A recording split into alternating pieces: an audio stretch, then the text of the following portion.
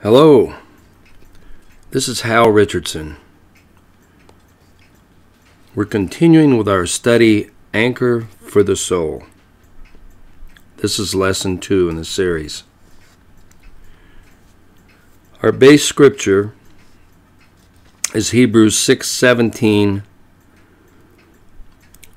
through 20, wherein God, willing more abundantly to show unto the heirs of promise the immutability immutability of his counsel, confirmed it by an oath that by two immutable things in which it was impossible for God to lie, we might have a strong consolation who have fled for refuge to lay hold upon the hope set before us, which hope we have as an anchor for the soul, both sure and steadfast, and which enters entereth into that within the veil, whither the forerunner is for us entered, even Jesus, made a high priest forever after the order of Melchizedek.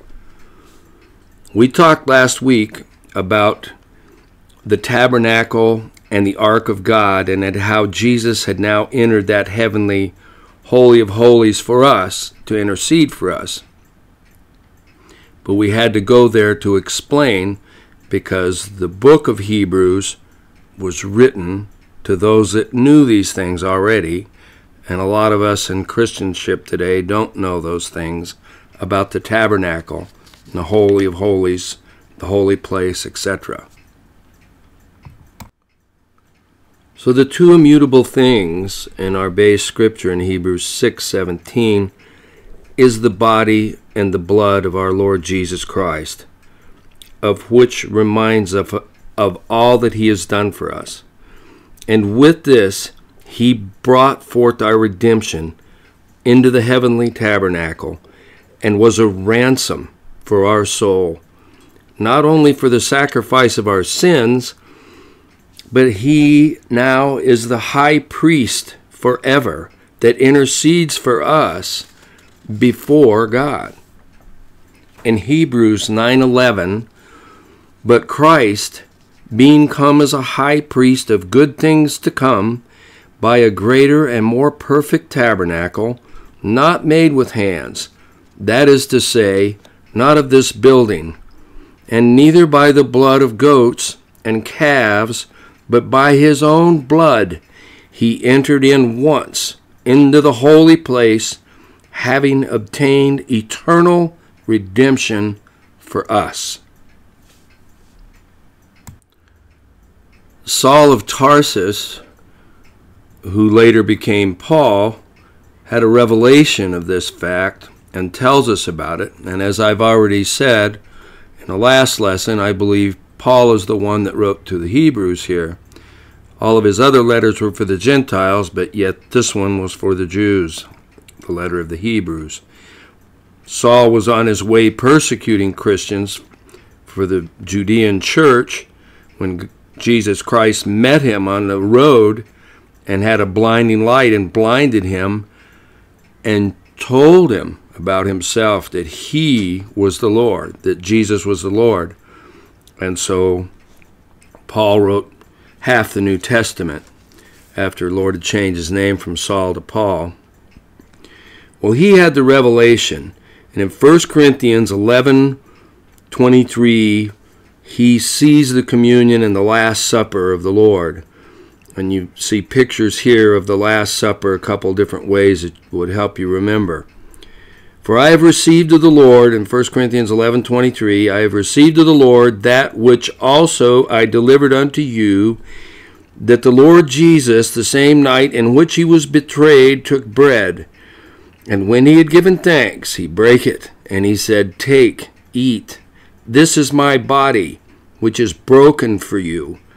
Do this in remembrance of me. In the same manner, he also took the cup when he had supped, saying, This cup is the New Testament in my blood. This do ye as oft as you drink it in remembrance of me. For as often as you eat of this bread and drink of this cup, you do show the Lord's death till he come.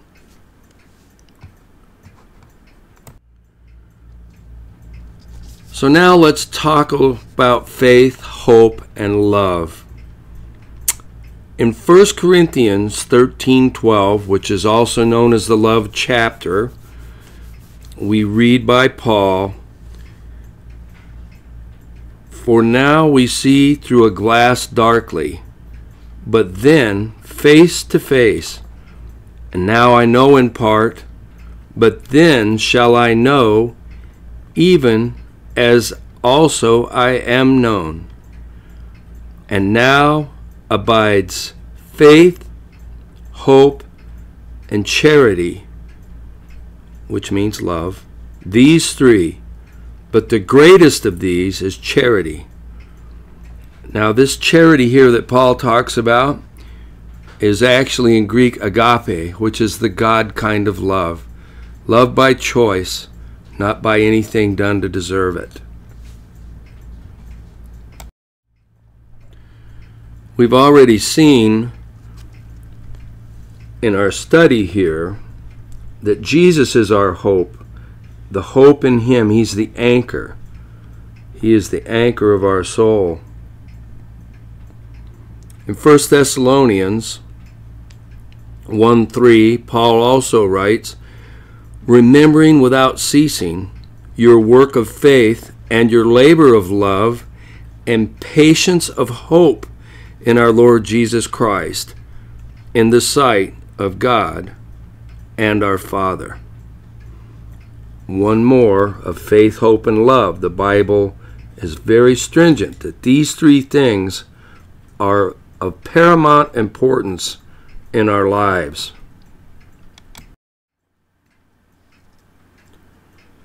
In 1 Thessalonians 5 8,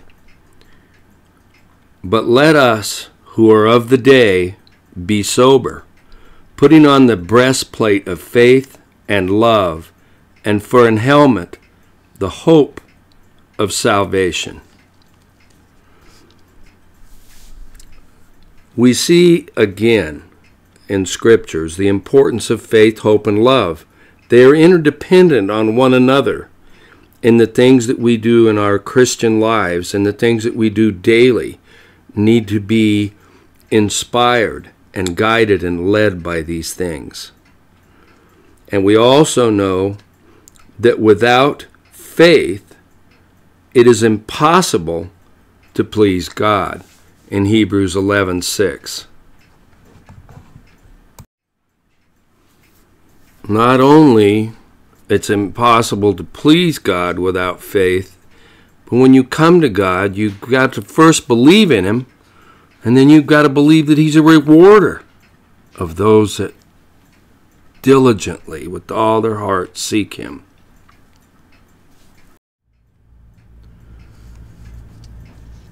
For us to really study faith, we got to know what its definition is. For that, we need to go to the faith chapter, which is Hebrews 11 and in verse 1.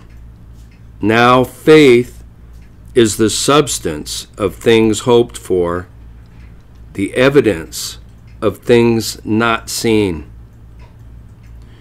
So we see here that faith is the substance of things hoped for. So you have to hope in order to have faith. And all things in the kingdom of God work by love because in 1 John 4 8 it says that God is love, and he that loveth not knoweth not God, for God is love. So we see then how they're all joined together our faith, hope, and love. And that we have to have hope in order to exercise our faith, and yet the whole system works by love because God is love. And because of the love he had for his Son, his Son is our eternal salvation, and the Spirit of his Son now lives in our heart.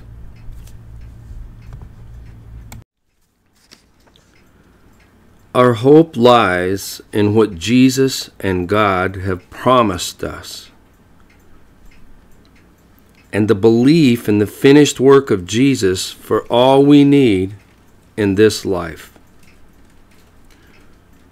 Hoping for and using your faith produces evidence in your heart. And out of the abundance of the heart, the mouth speaks.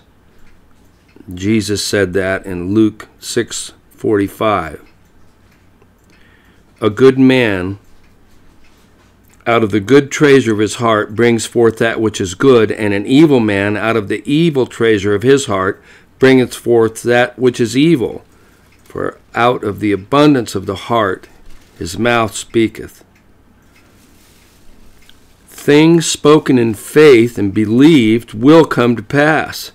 In Mark 11:23, For verily I say unto you, that whosoever shall say unto this mountain, Be thou removed, and be thou cast into the sea, and shall not doubt in his heart, but shall believe that all those things which he saith will come to pass, he shall have whatsoever he saith.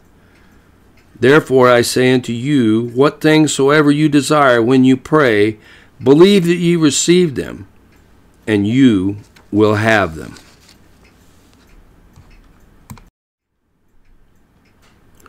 One of my early mentors was Kenneth Hagin. God rest his soul. He's gone now. But he was very famous for preaching, you can have what you say in Mark 11:23. If you dig into the Word of God and you find the things that God has promised, you can be assured that the prayers that you pray concerning those promises will be answered, and those answers will be yes and amen. Paul wrote in 2 Corinthians 1:20, "For all the promises of God in him are yea, and in him amen." unto the glory of God by us. In all of things and in the time of trouble, we need to trust in the Lord. He is faithful and will never leave you and never forsake you. In Hebrews 13:5. So, in all we've studied, we see that Jesus is truly the anchor for our soul.